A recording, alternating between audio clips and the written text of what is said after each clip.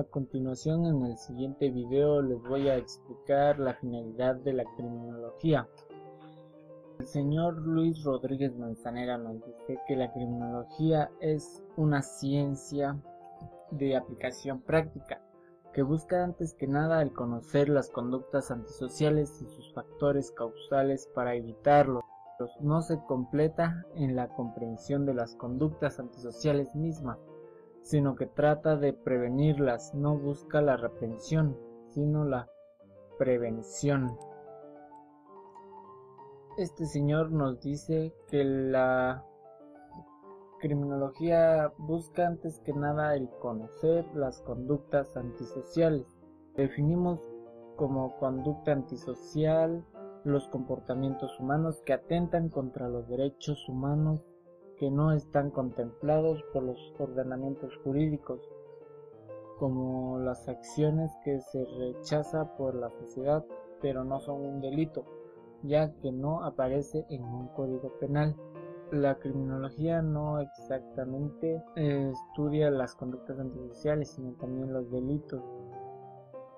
También la criminología estudia sus factores causales para prevenirlos. Los factores causales son las condiciones que orillan a estas personas a cometer conductas antisociales o delitos como, tales.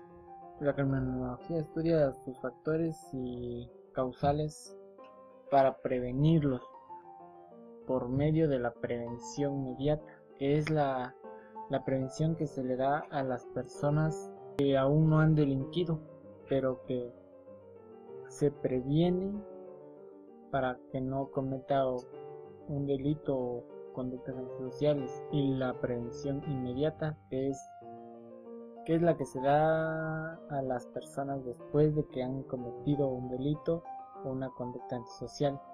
También desarrolla investigaciones científicas sobre la delincuencia o asuntos relacionados con el control social y la prevención de la delincuencia. Y también de forma académica investiga las técnicas relacionadas con la perfilación criminal. También propone programas de desarrollo social como los asesoramientos de organismos locales, regionales o nacionales y también de la seguridad pública durante programas de prevención en la comunidad. También auxilia al juez determinando el grado de culpa en caso de un delito. Es decir, con el diagnóstico del criminólogo el juez valora y determina la sentencia o la forma de aplicar justicia a las personas y el tratamiento que se le dará a la persona también. Bueno, por último, la criminología establece un diagnóstico, hace un pronóstico y un tratamiento, que es lo que vimos anteriormente.